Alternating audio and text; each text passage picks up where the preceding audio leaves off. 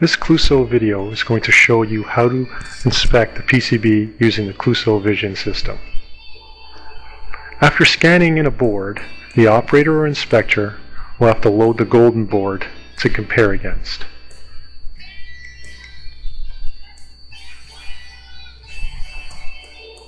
Once they've done this, they go to basic inspection and using the wireless keypad they're going to inspect each component on the board to its component in the golden image which is the screen located in the top left hand corner of your monitor. They'll do this for all the components on the board.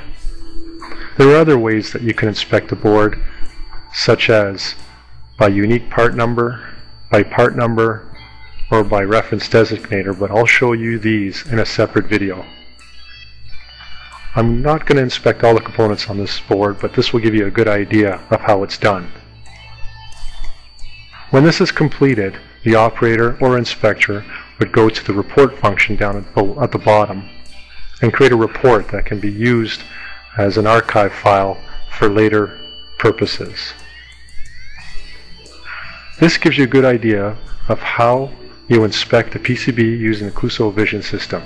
Thank you for your time.